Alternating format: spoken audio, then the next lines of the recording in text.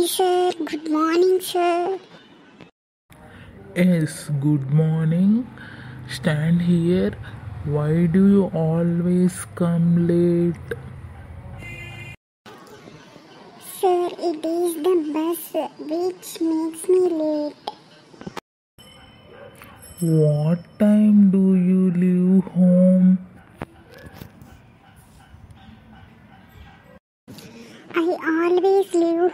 Quarter to eight, sir.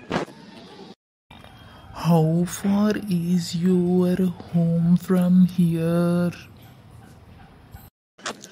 It is about three kilometers from here. That is why you get late. You leave your home very late. Sir, I take my breakfast at 7:30 a.m. What time do you get up? I get up at about 7 a.m., sir.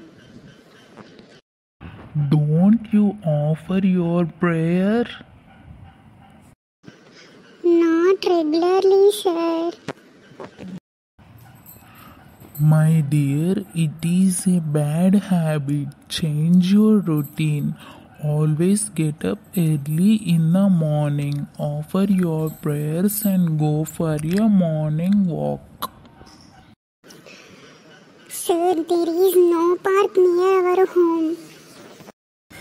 No problem, you can walk along the street in the morning time, take breakfast at right time, and then leave for school. You are right, sir. From tomorrow, I shall never be late.